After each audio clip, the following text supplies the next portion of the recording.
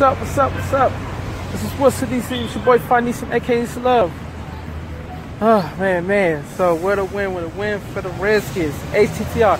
Hail to the Redskins. Yes. Beat the, beat the Carolina Panthers 23-17, man. Had me nervous, man. Had me nervous.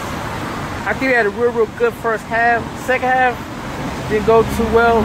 Still got it done. Still got the W. Man, man, still got the W, man. So, um, Vernon Davis had the first touchdown. Then Paul Richardson. Yeah, because um, Josh, um, Josh Norman had an interception, man. So that game was that was a good game. Our defense kind of did most of the work, though. Got the well, cause we had the fumble too, so they had a lot, a few fumbles, and um, that game was just too close.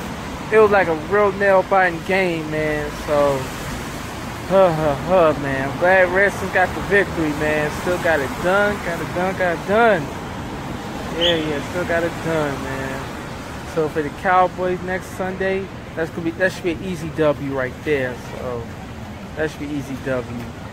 So people kept, you know, Josh Norman and all that. So I hope people shouldn't criticize him no more for now, this week. But um man, man, man. Others were quite criticize Alex Smith as well. You know, we didn't play a good game last Monday. But that's behind us.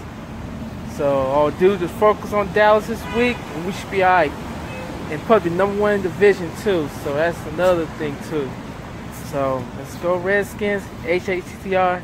Hail to the Redskins. It's your boy Decent, aka Love. I'm out. Peace. Yeah. HTTR. Yeah.